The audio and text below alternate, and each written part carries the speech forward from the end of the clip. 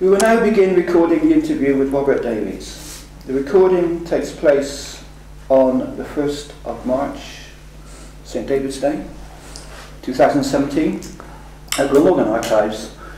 The volunteers present are Mike Hawkins and Laura Taffer. And this recording is being collected as an oral history and will be part of the Chronicle Project, a project led by VCS Cymru and funded by the Heritage Lottery Fund. Okay, Robert, how did you get involved in volunteering? Well, I suppose I had um, a conventional Christian background, although I, I, I, wasn't in the sort of church was at least dogmatic in that way, but there was a Sunday school, and that I suppose I should acknowledge that uh, the morality and grounding there of uh, looking outward from myself and ourselves and to be helpful to other people was uh, the essence of my outlook and the way that my parents would have brought me up. But um, I think in a way, in a very strange way, it began at a period of military service, conscription. Uh, uh, when I was 18, of course, which was the time when you were obliged to, to, to go into the, the military. But uh, my father hadn't told me much about the First World War, but he had told me about places around the world that he visited, and it seemed if I had to do military service of any kind, I should make the most of it. Now, most people went into the army at that period. Uh, but uh, I, I, thought to get into the Royal Navy would be the thing, and I recall having books, and uh, it all seemed very romantic and so on. And uh, I sat a special examination because instead of the two years conscription, you had to sign on for an extra year if you went into the senior service, so called. Um, so I passed the exam, and I was full of it, going to the medical. Uh, there were many lads who didn't want to do military service. I mean, I'd got to the point where I thought, well, yes, let's make the most of it, as I said. Um, and and uh, they would perhaps eat soap or do anything to try to make themselves ill enough at the medical to, to fail. But uh, I was keen. But I was honest. And uh, I referred in what documentation or inquiries there were about my childhood history of asthma. And I still suffered from it a little at that time. Very rarely, not well, severely at one point in my childhood. So, and uh, but I felt very fit. I made a great point of being fit, and um, they they thought I was perhaps uh, cheating in some way. And uh, the doctors went into a huddle, and then one of them said, "Ah," and he said, "Fold your arms, bend forward, take a deep breath." And he had the stethoscope on my back. Ah, he said, there it is out. Gosh, was I crestfallen. You know, I gave myself up to, to, the, to this. And um, I came away from that place and um, I forget exactly where the centre was, but I do remember getting on a bus and helping an elderly man to get on in front of me. And there was just that feeling, oh, I must do some community service. That feeling of duty in the community. Uh, which uh, was inculcated into me at that time, I suppose. So really, uh, uh, that, that was a strange kind of start to it. But of course, it was many years later. And um, my going to a United Nations Association meeting. Now that mustn't be confused with the UN. I'll say that straight away so that people understand. This was a supporters club, so to speak, for the ideals of the UN. They were based at the Temple of Peace and Health in Cathays Park. But since the war, the great bronze doors had always been closed. And the students, of which I was a part-time student at that time, they used going to and fro in front of it, used to say, oh, there's nothing but a big black hole inside. But one day the doors opened and I looked at the notice board and I went to this uh, first meeting of the branch in 1958.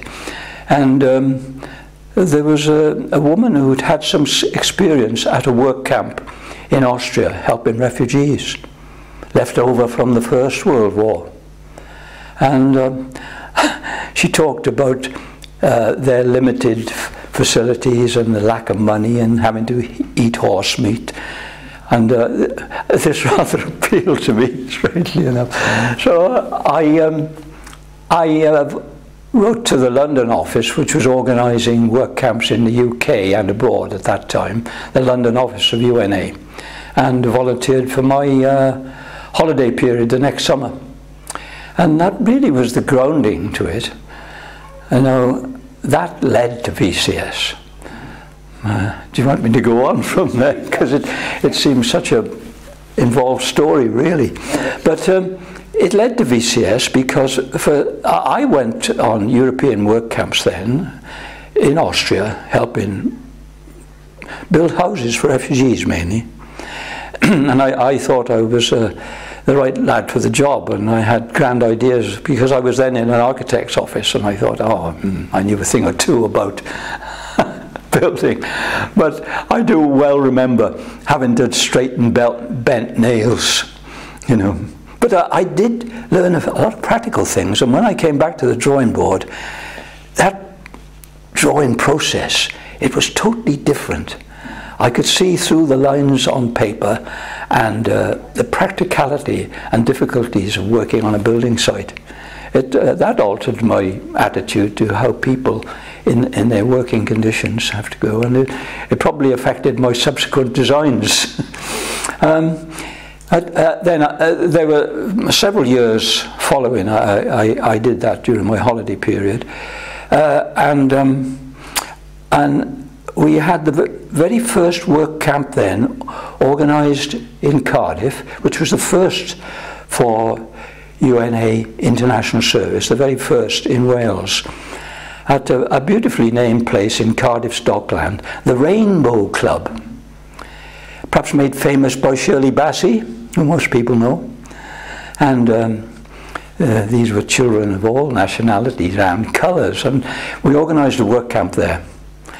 Uh, now, to find a, I, I was involved with uh, UNA and a sort of a international service representative because of the experience I'd had at work camps up to that point. Uh, and um, I had to find a leader for this camp because I was going to be off myself halfway through it to a, a camp abroad. And uh, at that time, there was a very admirable organisation in the university called CUSS, C-U-S-S, Cardiff University Social Service. It eventually became CUSO organisation. And uh, that its chairperson was one Lawrence Thatcher, who then became, a little later chair, the first chairperson of voluntary community service. So I, I discovered where Lawrence was this one weekend in a house in Green Street, decorating for an elderly person who's due to come out of hospital to try to improve their home before they move back in. Uh, and uh, uh, I, I, he was very much taken aback at first, but I came back later in the day and managed to persuade him to lead this first work camp in the summer of 1964. Um, we had just formed a UNA youth group in Cardiff. It was um, as a result of uh, quite a new establishment at the time, Atlantic College Llantwit Major. And we had a rally there, a South Wales youth rally to encourage people, and out of it we formed a Cardiff youth group. And they, in fact, were some of the first volunteers at this Rainbow Club work camp, together with overseas volunteers. And um, I do recall, and uh, this is an interesting historic point, not many people are aware that the uh, inventor of the breathalyzer, uh, Dr. Tom Jones, then working in the university, uh, had a great deal of international interest. He raised funds for international causes too, and he helped us with this first work camp, helped me considerably. And uh, we were there waiting for the first international volunteers. I've written something about this, which uh, um, people can read about, of course.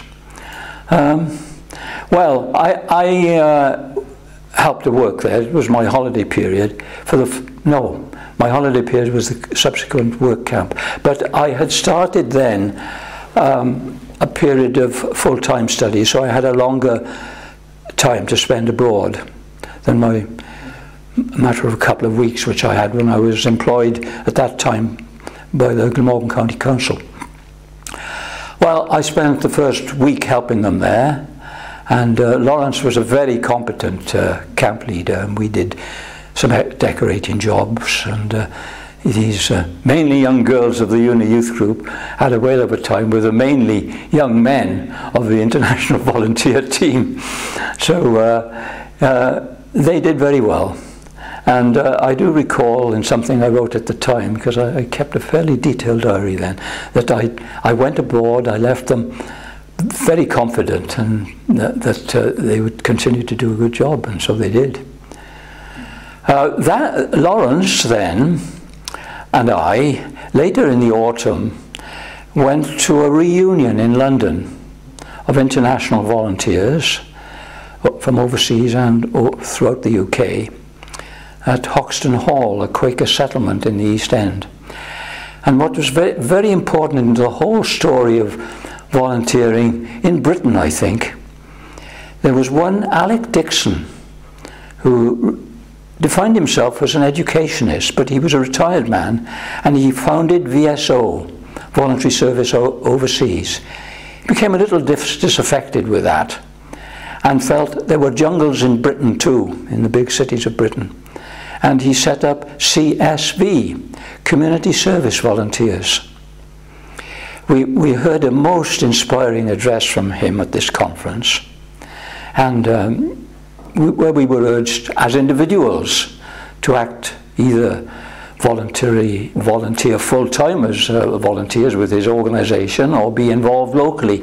But it, the involvement locally was important because, wonderful as it may seem now, we were just about clearing all the refugee work camps with those left over from the First World War. And there weren't the same sort of practical opportunities to send our volunteers from Britain uh, to work on the continent, and in particular at that time in Austria. So we were urged to create social and community opportunities in our own towns when we went back that weekend. We talked about this on the train back to Cardiff and we concocted this idea of setting up some kind of coordinating organisation which would have the prime purpose of preparing a work camp for the next summer. Um, well, that's uh, we, uh, we gradually became more ambitious because we discovered uh, that there was a lot of support for this, not only amongst young people, but other forward-looking people in Cardiff. Notably, Ivor Cassom, the Reverend Ivor Cassom, although he never used his uh, religious designation, and he was director of what then was the Council of Social Service for Wales and Mon, Inc., Incorporated uh, now the Wales Council for Voluntary Action. They were in a, a big house on the corner of uh, Cathedral Road, number two. We saw their youth and community officer, Ivan Hopwood, and um, he gave us a table, and we worked from a corner of a table just like this, in the attic, a little attic office. And we had a filing cabinet, which was in the meeting room, and every time they had a meeting, we had to put our filing cabinet on wheels and wheel it out. So that was really the very simple beginnings of uh, VCS. My, own experience of community work, I suppose, was really stimulated by that international activity. And um, uh, I, it, I still think it's the most important thing that people can orientate themselves with in the modern world. You know, if we, first and foremost, if we don't have peace in the world, we have nothing whatsoever. Years and years of charity fundraising to build a hospital in some deprived country can be literally blasted away in seconds. So peace is paramount. And although I'm so emotionally involved with on the ground in my own community with things like voluntary community service, I, I see the priority as being a world citizen. And uh, that period of 19, 1960s when many organizations were founded, not just VCS, there were so many young people who felt this way in the wider world and their wider community and felt they could change the world for the better. Uh, now, ha having lived these years since, perhaps the, there are older people like myself who might be very depressed and despondent about the way the world has gone. I mean, there was so a song, I think, of the period, Joan Baez, uh, When Will They Ever Learn? And uh, there were a, lot of peace uh, movement activity at that time. Peace marches and so on, things like CND being founded. And uh, that badge has become worn now without the realization that it's the semaphore for ND, nuclear disarmament. Mm -hmm. So that was the background to things like VCS, and uh, we still saw, I certainly still saw, it was important to uh, continue with this work camp activity and expand it as much as possible. Perhaps I should give credit at, the, at this stage to how work camps came about. The very first work camp in Wales, indeed, was in 1931 in Brynmawr, at the height of the Depression, where uh, volunteers from overseas and Britain helped to build a park and a small swimming pool, which might have been thought very strange when there were so many un unemployed people. But uh, they worked together and it created a great spirit. So that was in fact um, Service Civil International, uh, the founder of that being Pierre Ceresole, who uh, was a pacifist in the First World War. Um, incidentally, I should have been referring more clearly to my experience of refugees from the Second World War. I just correct that. Um, Pierre Ceresole was uh, secretary uh, of something called the Fellowship of Reconciliation. And one of their first conferences at the end of the uh, 1918 war, he and others felt we can't just talk in conferences, we must do something. And uh, as a piece of practical reconciliation, they got a team of international volunteers, including at that time representatives of the war, the Great War's belligerents, Germans and French, to work in um, uh, Ypres, in a village in Ypres, to help to rebuild. That was indeed very con controversial and ha had a lot of opposition. But they persisted. And uh, that, that project uh, led to the foundation of Service Civil International, and they continued from there. Uh, in Britain, I think it should be acknowledged that the British branch of SCI is IVS, International Voluntary Service. And uh, they, they certainly predated the work that we did in UNA International Service. UNA International Service came into being with the floods in 1953 in Holland, in the Netherlands more properly, and Dutch volunteers came, to, we sent volunteers from London to help the clear up there, and Dutch volunteers in turn the following year came to Britain to help on some community projects here. Um, this kind of community uh, uh, voluntary work and the work camps helping with the Second World War refugees uh, continued to be organised from London up until about 1973 when we organised it from Wales. They found then that uh, there was far more work to do with long-term service with specially trained volunteers and people who perhaps had some qualifications like in medicine and so forth working in poor countries. Uh, so they ceased the work camp activities and we took it on in Wales for the first time in 1973. Uh, coincidentally, which was helpful, with the founding of the Welsh Centre for International Affairs. Uh, UNA, UNA Wales as a council still exists, existed, and uh, we uh, continued with work camps in Cardiff for several years, and they were coordinated and uh, supported in all sorts of useful ways, practical ways with equipment and so on, by voluntary community service. And uh, this continued for several years to a point where uh, the um, Coordinating Committee for Voluntary Service of UNESCO, the United Nations Education and Scientific and Cultural Organization. That committee awarded VCS a special recognition for their community work. So that was most unusual. We had it hanging on the wall in VCS for many years, and uh, we still have a record of that somewhere. So that was a, a, a very proud connection, I think, that VCS had with its international roots. Could you describe your involvement with VCS and what VCS? Yes, we come to the point where now, through the work camp, we had our first public meeting. So, quite appropriately, the UNA youth group acted as hosts in what was their regular meeting place, the Temple of Peace. And we had a public meeting there. We were quite surprised at the response. But most important, there was a, a lady named Mrs. Webb can't remember the full name, but she in fact was uh, the full-time organizer for assistance to the elderly as part of the the uh, National Council for Social Service, WCVA now. And uh, she offered facilities in their office and she would help us to establish a steering committee and so on.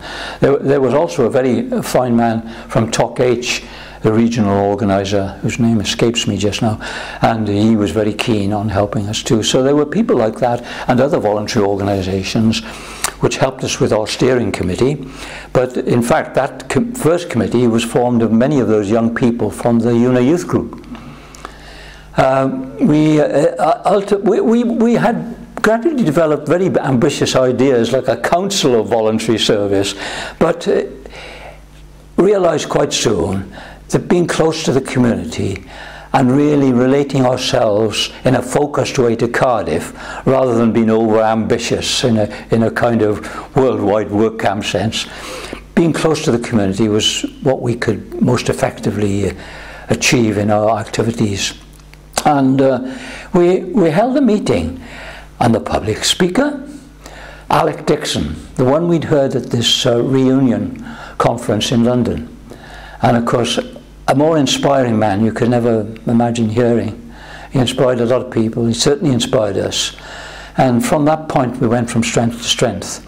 We continued from this little table uh, in the attic of uh, number two Cathedral Road.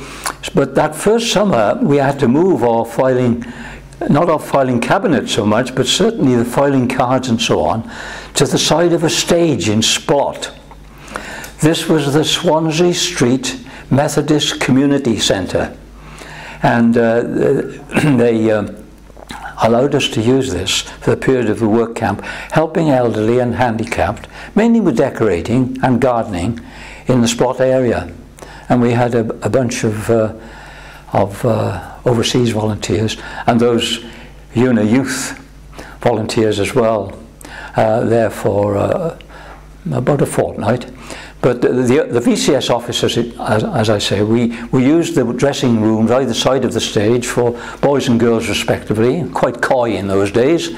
But uh, I, I, it was being totally run uh, voluntarily then, and Jeff Coleman was the secretary for coordinating uh, the, the VCS activities, matching jobs with volunteers, and he had his box of his card index on a little card table at, at, at the side of the stage.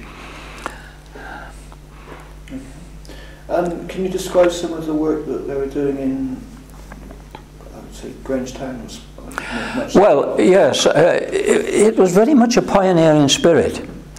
And uh, one of the projects, um, I can't recall precisely which year, but a few years later, was the very first work, ca uh, work camp, I beg your pardon, the very first adventure playground. there is a sort of link between work camps and adventure playgrounds. It is something that is very difficult to do with our great concern of health and safety now. But we had the first adventure playground in what was Ely Hospital School. This was a school for mentally handicapped uh, associated with the mental hospital in Ely. Uh, uh, and um, George Thomas, the uh, was Secretary of State for Wales. He had already, at a, an earlier work camp conference that we had become president of VCS, because he took the trouble to turn up at one of our annual meetings. And uh, he uh, opened this playground, and it was a grand event with big marquee and so on. Great interest for the press. But most particularly, socially speaking, or from the point of view of community, it introduced people to what was happening in that hospital. And some of the care was not as sensitive and as humane as it might have been. And it led to a, a national scandal. The place was eventually closed. I think there's a supermarket on the site now. But the playground was adjoining the, uh, the present fire station. And we built this playground. We even brought um, a lifeboat up from the docks. I can't remember how we managed it. But uh, we built this playground, which was the very first adventure playground in Wales. Um, but that, one might say, was a private playground in the sense that it was part of the school. Uh, um, very shortly after that, the very first public adventure playground was uh, at, at Grangetown in the Mall. And uh, that was at the time when our current chairman, chairperson Mary Newman became involved as a, as a community worker. And uh, I think uh, a picture of children swinging on a suspended sofa uh, decorates some of our documentation. Could you describe exactly, for the record, what is an adventure playground? Yes, probably nowadays adventure playgrounds are much too structured because of this worry about safety.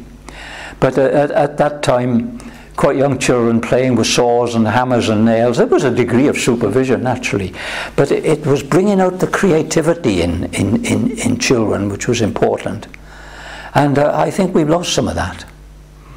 You know, it, it, there is so much technology now. Admittedly, we can do lots of clever things with laptops and whatever, but uh, children still need to experiment and learn to use their hands and their imagination and maybe we're a little bit too rigid and worried about children climbing trees even. So uh, an adventure playground was certainly very adventurous for children. I'm not sure that it's quite so adventurous now. so adventure playgrounds were made up of old furniture? Uh, oh yes, any kind of junk you could get. uh, I mean, bits of wood of any description, you know, and uh, anything children could work with or put together, and uh, it, it, was really quite amazing. But I, I, I, was surprised to learn at the discussion yesterday that uh, eventually there were seven adventure playgrounds in Cardiff. Uh, um, of course, some of them have become a bit formalised and uh, with trained people now, and maybe they are a lot safer. But uh, there was a bit of pioneering there. How did your role in VCS develop then? Well, um, I think I've always realised in most organisations that the key person isn't necessarily high office, like being chairperson and so on, but it's the secretary honorary secretary, you know, I, totally voluntary, of course, and uh, from the very start, everything was voluntary. But we realized after about a year that we couldn't maintain the complexity of what we were doing in any safe way by people relying on voluntary effort. I mean, I as secretary was up all hours trying to deal with the documentation and letter writing and so on. Uh, but um, I can remember the spot in St Mary's Street where Jeff Coleman, who was then coordinating these card indexes, we, it came to us suddenly, what about a CSV, a community service volunteer? And uh, we got in touch with Alec Dickson and we had our first uh, community service volunteer earlier that year. He was a graduate in maths, of all things perhaps inappropriate, but he was a brilliant fellow, Michael Lazell. And uh, he set things going in a much more professional way. But it still took a long time for us to be recognized as a serious organization, as, as young people with serious intent who were doing things quite, as, very carefully. And I say it now because enough time has passed to be critical. The then Education Committee, they didn't even acknowledge our letters for 12 months.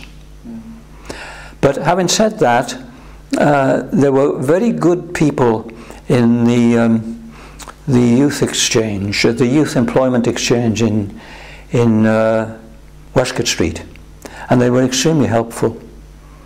And uh, mm, anyway, this, this is recorded elsewhere, those people who were involved. There's so many names, I'm afraid. That Why do you think it took so long for the organisation to be recognised? well, I, I think it, it could be a message for today.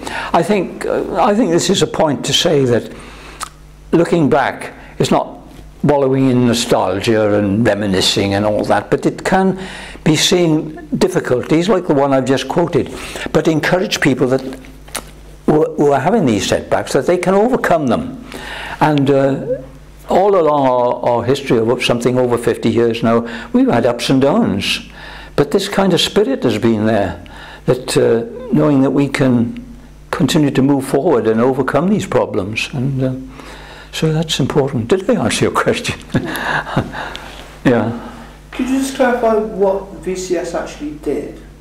Yes, well, of course, um, I think there was an element of what Toc H was doing in some of it because I, uh, in a personal capacity, VCS was not uh, involved, but I, I I volunteered with Barnardo's, Dr. Barnardo's children's homes, and at the Ever Open Door in Canton, as it was called. And I remember seeing a plaque on the playroom door. This room was decorated by the Roath branch of Toc H. And uh, that kind of approach, I think, wa- was something we realized we could do, but uh, um, not necessarily for children's homes, but for elderly people who are in difficult circumstances, decorating one room mainly.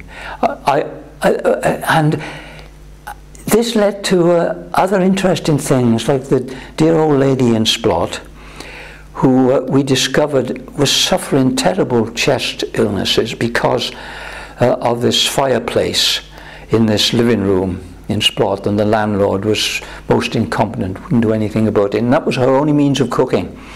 And uh, she was, because she had to move out at, while we were decorating it, she became reunited with our, her friend across the street on the corner.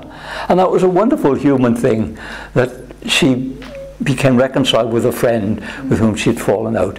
And uh, th- that little thing. But uh, there was still a, a s- a insensitivity. I went back a year or so later, and the bedroom window was open on this terrace street, and I can things were being thrown out of the window into a skip outside. These are all her precious belongings.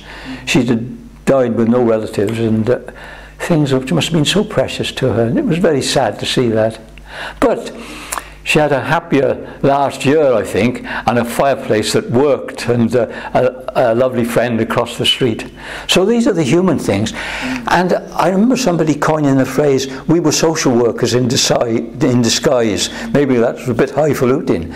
But really, these practical the elderly people who might otherwise have been suspicious of youngsters realize, oh, these are the students. Uh, and doing a bit of decorating and a bit, bit of gardening was acceptable. But the most important thing was a cup of tea. Uh, I, I've said or written somewhere, I, or on, on one of the YouTube uh, addresses, about Jeff Coleman, how I was so concerned as the organizer at that time about statistics. There was something about this in a discussion we had yesterday. Councillors and other politicians only interested in statistics, not the human stories. But uh, as- so I was concerned getting st- statistics, and I thought, well, an economy in what we were doing: white paint and plain wallpaper, no matching involved, no waste, you know. No. But there was Jeff sitting down with this dear lady, with a with a book of patterns, and a colour swatch, patiently going through, and that transformed my attitude. I, I suddenly put the brake on, you know. This is what it's all about the richness of human relationships, not statistics or trying to get money. That was real richness. Are there any more instances that come to mind? Well, I probably will from the, as we go on discussing this, but uh, uh, those are one or two which really uh, uh, do grab me, you know, and uh, I still feel very emotional sometimes about VCS and the great work it's doing with people, with people, you know, not with things, but with people. Would you like to talk about that? Uh, the things we're doing now with people. Things, Well- things that affect you emotionally, yeah. Ah, yes. Um, well, I, I suppose that uh, it was, in fact, being involved in, in these activities at weekends and seeing the uh, difficult circumstances that people were in. I mean, I, I, I, I, thought uh, we were living in poor circumstances, but I, I had excellent parents who were very careful and had a clean home and uh, very fortunately by that period we managed to get a council flat but uh, we lived for 16 years uh, in rooms in Port Talbot and Cardiff. So uh, I, I, I was living in wonderful circumstances with a bathroom and so on. And that contrast with seeing some of these houses in Splot and Grangetown, which had not been refurbished in any way, you know, and uh, the very poor circumstances that folk live in. I mean, uh, I still feel a bit sick about it but uh, that, that we weren't concerned soon enough to do something about that. But there was a period, uh, and uh, I think there's a, a follow-on from that, of something called enveloping in uh, communities where they refurbished, realizing that 33% at that time in the 70s uh, uh, our, our British homes were in fact terrace homes without indoor toilets or bathrooms. So uh, we had to examine these houses and uh, the whole street would be dealt with in that way, subject to uh, um, cooperation with landlords and so on. So uh, we've come a long way in a material sense, but there are still people who, um, you know, I hear uh, and uh, not realise that they're in some difficulty until the milkman sees the milk hasn't been taken in. I believe milk is still delivered in most places, and uh, and because there's no personal contact, people haven't been seen for a few days, and there have been inc incidents in Britain where people have been li lying dead for not matter of days, maybe weeks. So uh, this is terrible in, in a so-called civilized society that we don't care enough about each other, not in an intrusive way, but uh, this is, I think, where various community activities can do such a lot of good, bringing people together and being aware of others who are perhaps missing in that particular bingo session or whatever, and finding out about them, you know. And so there, there are many approaches, and uh, I think this is the spirit of voluntary community service in, in its broad dictionary definition as opposed to the title of an organisation is so important. Would you like to say some more about VCS and how it, how it developed later on? Well, it, of course, it continued for many years in that nature, and uh, we had these work camps, and uh, again, the need for statistics, but we realised that although we were having work camp technique at, at a weekend with local volunteers around the year, the, the number of rooms that we could decorate or gardens dug was enormous. At one period of uh, day after day of a work camp of two or three weeks, a great deal could be achieved statistically in that way.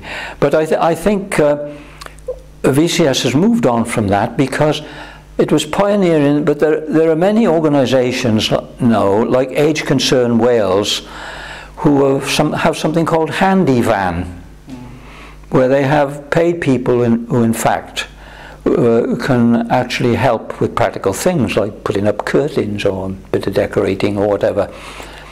So uh, it, it's moved on to a much more organised and um, effective manner.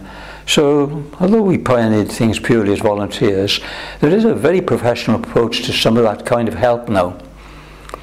Uh, we, indeed, we, we have moved on from that. And uh, it's interesting that currently we are tackling things which I, I would have uh, even now feel very nervous about. Uh, but th things such as uh, very serious emotional relationships, mental breakdown and so on, and maybe ex-offenders. But uh, as an organisation, and with the kind of help and support that volunteers are having and the careful selection, I think we're capable of doing the most serious activity of that kind now.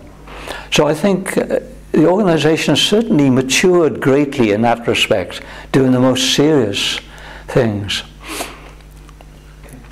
Um, can you tell me a bit about the Mardi Gras? Ah, yes. Um, another pioneering activity. It, it had its roots in people uh, who were involved with VCS, in, including our, one of our first treasurers, Lawrence Kahn. Uh, um, but uh, it, it, was an independent venture with an independent organising committee. It wasn't the responsibility of VCS, but the 1967 Carnival, as it was first called, was the very first of its kind in Britain, outside of the famous Notting Hill Carnival. Uh, now, I knew I couldn't cope with this. I had no experience of the world of entertainment whatsoever. But my old school classroom friend, uh, John Crosby, was writing comedy scripts for BBC Wales. I, I, tracked him down. I said, could you help me with this? Ah, well, I, I'd like to help you his response, you know, but I, I don't have, but I do know somebody who might be able to uh, give you a hand. And he took me along to the Toc H Centre, a little office in the middle of um, St Mary Street, and and invite me to, inv in, sorry, and in, uh, introduced me to one Don Collier Roberts. And there was a practical man his background had been helping with leprosy relief in India, but he was now the regional organizer for Toc H. And uh, he, would had quite a bit of experience of uh, entertainment world in one way and another. So he was the organizer. And uh, with his enthusiasm, I mean, he was great for me. He encouraged me no end because I, I, would, I was very nervous about the whole thing. Uh, and he set it up with a steering committee. But um, I think it's a, you know, with all the goodwill in the in the world, I mean, the, there's a current valid criticism of how the media often respond to negative things and bad news. We couldn't get any interest at all, and of course we couldn't pay for publicity. Uh, but uh, we, we did have the steering committee and um, we did have a little public meeting in what was then the very first community centre, some wartime barrack concrete huts off Bute Street called the Goodwill Centre. We had this public meeting. And coinciding with that, we had published a very colourful brochure, literally colourful, for the programme for the week of uh, various forms of entertainment, besides the carnival on, culminating with the carnival on the Saturday. And, uh, but he had invited John Jones, River Out of Eden fame, a, very famous Welsh historian, to write an introduction. And of course he wrote the history, the background of, of Bute Town, and referred to Tiger Bay. And there were some in the audience who took umbrage at this. They thought it was very disparaging and cast a slur on the local people. It wasn't the case at all. It was written from an historical viewpoint. So they, it got very aerated in this public meeting, and uh, there was one fellow standing up being very nasty, and, and Don said, Well, look, we'll sort this out. I'll take my teeth out, and we'll go out the back, and we'll sort it out. he had tipped off the press that there might be some disturbance, riots in Bute Town. Headlines in the Echo the next day. We got all, everybody knew there was something happening then, you know. So we got the publicity. But, you know, in that roundabout, it was very deliberate on his part. He manipulated the press. Uh, but uh, we, luckily, these evening and events throughout the week, these various theatrical performances and so on, made a bit of money because it was almost a disaster, the entertainment on the Saturday. The te most terrible thunderstorm we had that summer. The road leading down to Bute Town was cut off with flood water people did get there. It was so much rain, in fact, that the big marquee that we had was so wet, and the electrical lead going into it was sparking away. Nobody had noticed it, but I was going around checking things. It's lucky I did, because there were flames coming out of the, lapping onto the tent. But, so we had an exciting time. But I mentioned Lawrence and his friend Mickey Graff from the Jewish community, incidentally, and they deliberately done this for good community relations, bringing Jewish young people involved. He, Mickey, and I, and Don, we slept in a caravan on the uh, the newly developed parkland in Butetown at that time, which was the old Glamorganshire Canal. We slept in a caravan the whole week to make sure nothing would get damaged or stolen. It was an exciting time.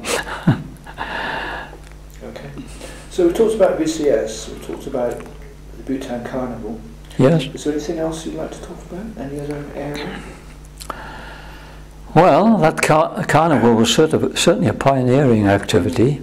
And the local people took it up themselves afterwards for several years, and it's it's uh, existed again since. So I, I, think that's that's very important. You have to start somewhere, and um, well, I, uh, as I remarked, there there are new things now, and I, I'm, I'm not exactly out of touch, but. Uh, although I'm an officer of the association and very proud to be, I'm not on the committee any longer, and it's so involved some of the current activities. Uh, were you involved with uh, Intervol, was it? Yes, Intervol. You, you need to prompt me. Thank, thank you for that.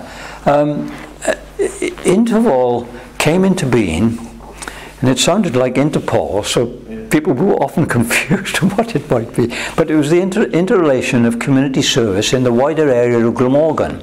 And uh, they had engaged a full-time community officer who was the former civil defence officer civil defence then had, uh, had ceased. I mean, it would never have been much good with a four-minute warning anyway. But uh, but I I, uh, I tracked him down in the um, in a place in Newport Road, uh, one of the clubs, the trade union clubs in Newport Road, I think it was, and. Um, he, actually set up this organisation, Intervol, uh, some years later than VCS was founded, but there, there was great cooperation. Uh, it, it, around about 1986, when I became redundant, I had the time to be more involved, and in fact, I was vice chairman. In fact, you know, in the acting day-to-day -day work, the chairman was the former county planner, Ewart, Ewart Parkinson, who the city owed a great deal to, I think. But uh, so I was very practically involved with Intervol. And uh, they had a series of specialist um, uh, subcommittees. And um, I, had been involved with the, um, what was originally the Cardiff and District Association for Mental Health. But they had had a, a one-year campaign to enlighten the public and they dubbed it MIND. But of course it's continued with that name since. And I was on this Intervol subcommittee, and it related to the work that VCS was doing, of course. And uh, yeah, yes, um, John Homewood was the organiser's name. He died a couple of years ago, but I'm glad to say I, I saw both and Andy at work. Parkinson has passed on, but I'm, I'm glad to say I met them both over a dinner not long before. Hmm. You mentioned that you worked as an architect, correct? Well, well, I suppose um, that chimes in with my interest in the community. I started as an office boy, um, and I realised now I was quite badly treated and totally underpaid, but I didn't mind because at that time you, you could get a, a day or two half days off a week to study. And um, my father was in a not relatively poor paid job, but more particularly his health was uncertain, so he, he couldn't uh, send me to full-time education. And um, uh, uh, although the fees were paid at that time, still it, it would have been very difficult. So I, I studied part-time for about 10 years until I, uh, uh, as a, a, a, mature student, I, I could get a, a major award so I studied full time, and that was how I was able to spend two months in work camps on the Albanian border, and where I met Inge. yeah. I just wondered if ever, you mentioned that you designed schools. Yes, I'm sorry, I do digress. You have to That's try to keep me to the point. Yeah, well, the, uh, I, I, after four years in this uh, uh, exploitative private office, I uh, felt, well, I, perhaps I could serve the community because uh, some, a former office boy there encouraged me to apply for a job in um, the then Glamorgan County Council in Cathays Park. And I, I got it right away. And uh, I remember the chief clerk asking me later, how much were they paying you? And he was aghast because at that time I was going, up, I, I went up from about two pounds 50 a week till about 600 pounds because I had the qualifications. I was qualified at the intermediate stage of the Royal Institute of British Architects and they just weren't paying me, you know. But uh, there we are. So um, uh, you find that your your work and the voluntary work you did ever uh, overlapped? No, no. I must say, in some ways, I felt embarrassed about some of the things I was involved with, and I kept them very secret. I mean, I had this circle of friends and activities with VCS and so on, but people at work didn't know anything about my private life in that way. You know, I told them enough to satisfy them, perhaps, but so I kept these worlds totally apart. Do you think that was well, I don't know. Uh, I, I, I, well, good or bad, I don't know, but I, I, I just didn't want to, to complicate my life in any way. It was possible to leave work at five, as I always did. I remember saying to the head of the department once, uh, not quite truthfully, look, I, he, he would always call a, a, meeting in the office at five o'clock in our own time. And I said, all right, come on, John. There's somebody waiting on double yellow lines for me. I'll give you five minutes because I was very obstrepative.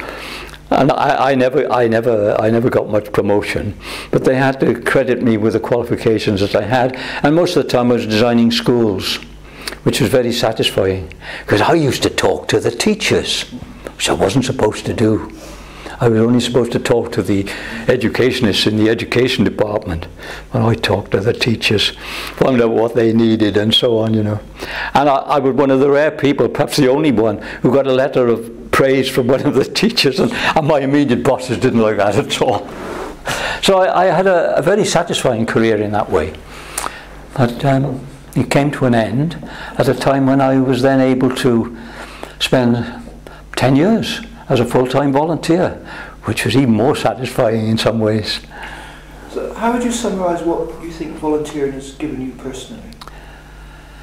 Well, I don't know. I, it, it's given me gr the, the, greatest of friendships. And maybe meeting people like you know, it's, it's absolutely wonderful, you know. Uh, you see, that is what is most important in life.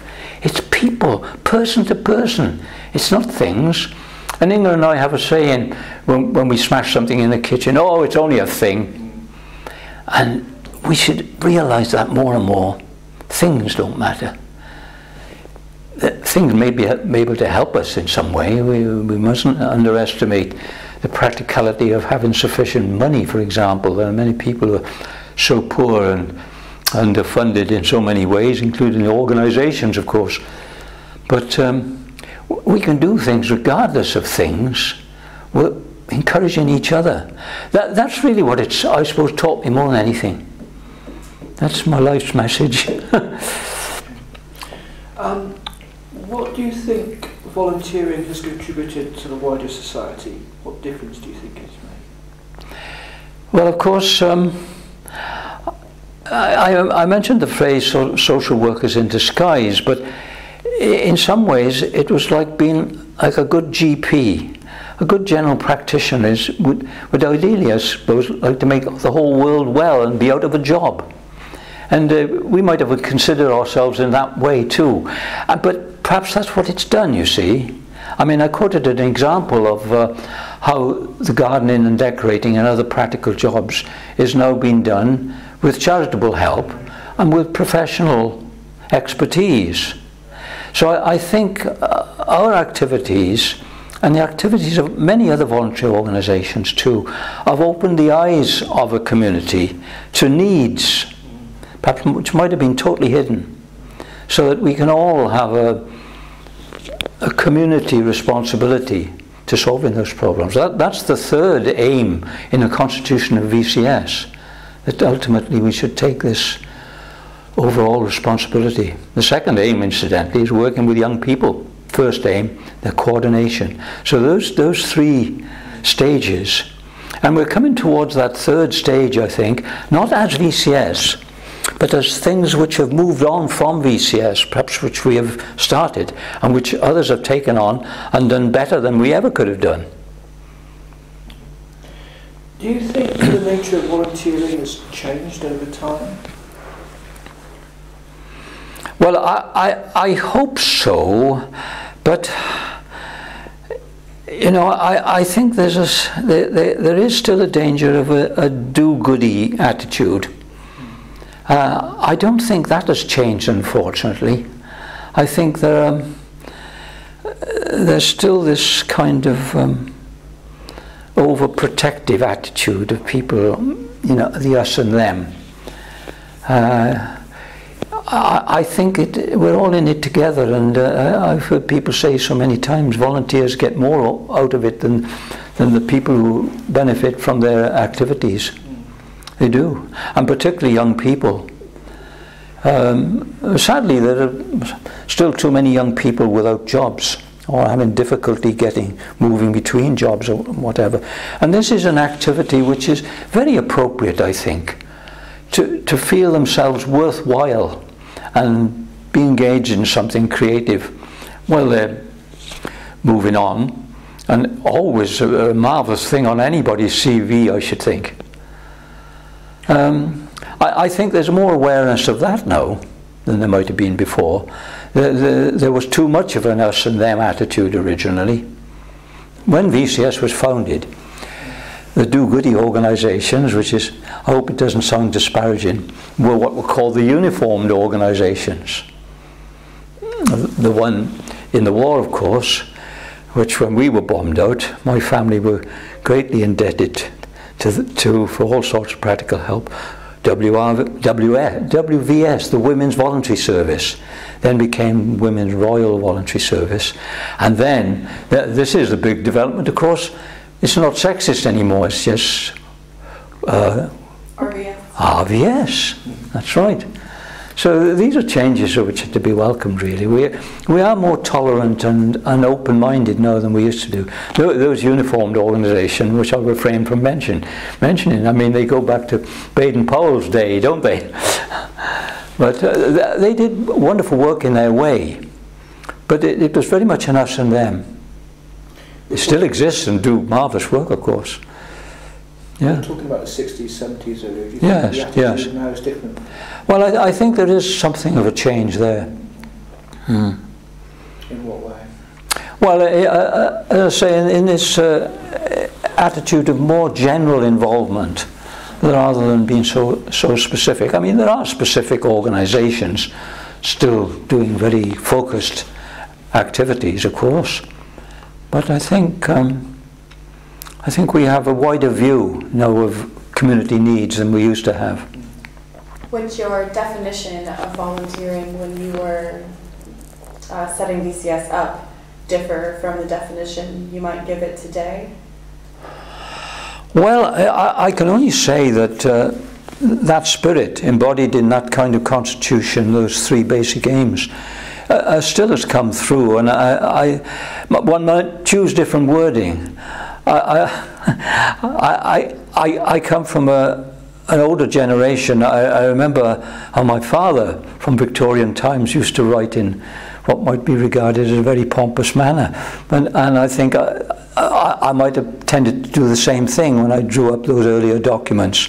I can recall at um, a youth council meeting in the city hall reading out that second aim and to engender I used in a phrase I couldn't, he couldn't pronounce it when he was reading out, so he changed it to encourage.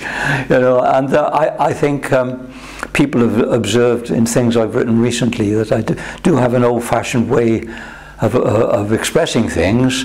Uh, when I my diaries from those times in the work camp, we retired. We went to bed, for goodness sake. Uh, and I, I, don't know whether I can uh, update myself totally in that way, but you know, one is made up of all those influences in one's background and uh, you can't shrug it off completely. How would you define, vol define volunteering? Today? Yeah, today. What is your view after all these years of being involved in volunteer work? Well, uh, as I say, I, d- I don't think the spirit has changed very much. And uh, when, I, when I was listening to people in this little session we had yesterday with people who were talking their point of view, their, their experience, they still came across that um, they themselves, uh, uh, Mary Newman says for one thing, one of the greatest things that happened in her life, you know, bless her. It, it changed her whole outlook from working on that first adventure playground and as a community worker in, in uh, Grangetown. But, uh, and I think this, this has done this for many people, and they've moved on. And uh, moved on to great things. I think we were all so honoured when we had the former Welsh Ombudsman, and at that time come over from Ireland as the Irish Ombudsman to attend our 50th anniversary celebration in the Cardiff Story Museum. Um, Peter Tyndall, he was a member of VCS staff. Uh, I, I mean, I don't know all the stories, but I just come across incidental things like that, how it had influenced people's lives. And it still does. And I think I'm more aware of that now. And that's the message for anybody volunteering now or contemplating it. Don't be too nervous. The people involved are wonderful, human, warm characters. Could you finish the sentence? Volunteering is. Dot, dot. Ah, right. Volunteering can be one of the most creative and satisfying things in one's life.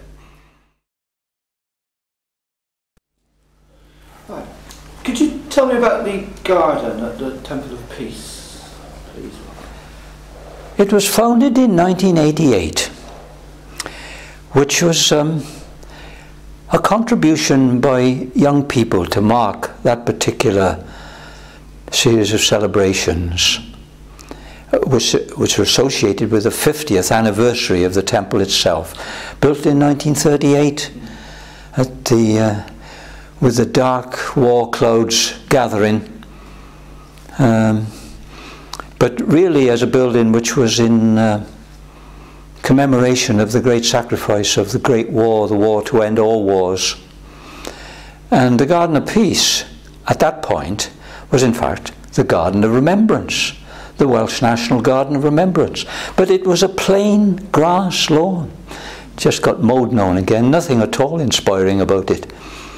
And uh, we conceived this idea of uh, planting it out in some way and uh, designed what was um, uh, a, simplified version of the UN symbol in, in the middle, with a very tall flag pole, which when, from time to time flies the UN flag, and then either side uh, the Welsh dragon and the Union flag.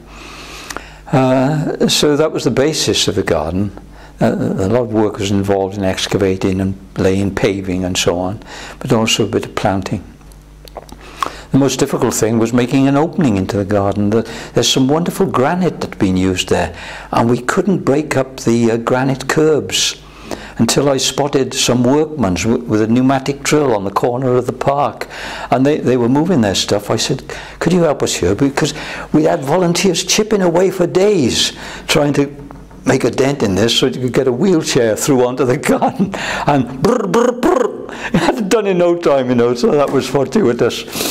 So um, we had a good time. But uh, on the day, we decided to have um, a very big marquee because it was still raining. And I, I remember looking over the director's shoulder in the office, and we had um, Edward Davis, the son of the founder, Lord Edward Davis, uh, uh, as, a, to, as an opening ceremony. I was looking over his shoulder and that brain, and uh, there was Cedric, a dear friend of mine, a volunteer, going round, wiping the plastic chairs with a towel, but it's still drizzling. Anyway, the garden ceremony proceeded, and the sun burst out. You know, it was so dramatic. And uh, we had the most wonderful weather, late summer. It was the end of August. The opening date was the day of the outset, uh, the same date, 3rd of September, the outset of the Second World War. We had wonderful weather then.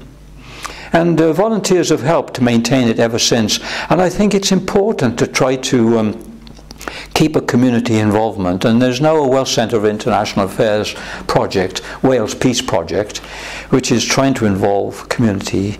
There's some difficulty with the accessing funds at the moment, would you believe it, to, to develop that. But um, I think that that is progressing. It, it, needs a bit of tidying up now, but involving local volunteers. In subsequent years since that first work camp, we did have other work camps to maintain it and improve it. And uh, in fact, UNA Exchange, which is the coordinating organisation in Wales for work camps, uses has used it for training purposes from time to time at weekends. So when you were making the garden, um, who was working on it and what was the weather like? Well, I did mention that it rained every day.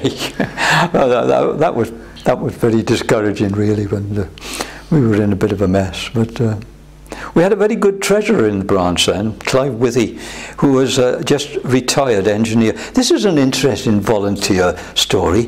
It's the only time I ever received a letter from somebody saying, I've just retired, I want to volunteer to do something worthwhile. And uh, Clive Withy came in and uh, we got him as treasurer of the branch to start with. But he, being an engineer, he was so practical and getting that flagpole up and doing the other concrete work and so on. He was so, so very good. But um, sadly, he's passed on now. But uh, he, uh, you know, people like that would be so interested to see how it develops. Anybody hears these remarks, they, they ought to go and see it and try to get involved with it. And I know VCS has helped from time to time with activities and other voluntary organisations too. What we need actually is a volunteer gardener. So there's an appeal. well, I can go out for a volunteer retired gardener to uh, look after it. um, you've written, uh, not published, uh, a piece called Shrapnel and Blueberries. How did it get that title? Uh, well, it spans my life. My first early experiences of the war and the bombing raids on Cardiff, when I then lived in Zinc Street, very near the docks, uh, the steelworks rather.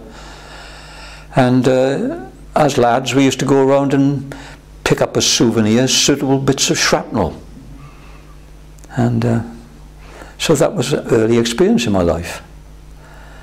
The blueberries, indeed, are what I now pick in Sweden helping Ingegerd, my wife, in the woods, peaceful woods of southern Sweden, unlike wartime Britain. So that's a span of a lifetime which that title is intended to represent. And then finally, to conclude, uh, to kind of wrap everything up, you had mentioned that at the beginning, um, after you were told that you wouldn't be able to join the Navy, you still felt like you had a sense of duty. And there's a similar thread uh, that you carry throughout when in establishing VCS. You say that one of the aims is to help give people volunteering uh, the ability to create a sense of individual responsibility. Yes. Do you still think that that is important? Uh, absolutely. In the end, that's what it's down to each one of us. It's not, oh, why don't they do something about it? It's we who've got to do something about it. And that individual responsibility in that last clause of the Constitution is vital, I think. Well, thank you for your time. Thank you very much. Mm -hmm.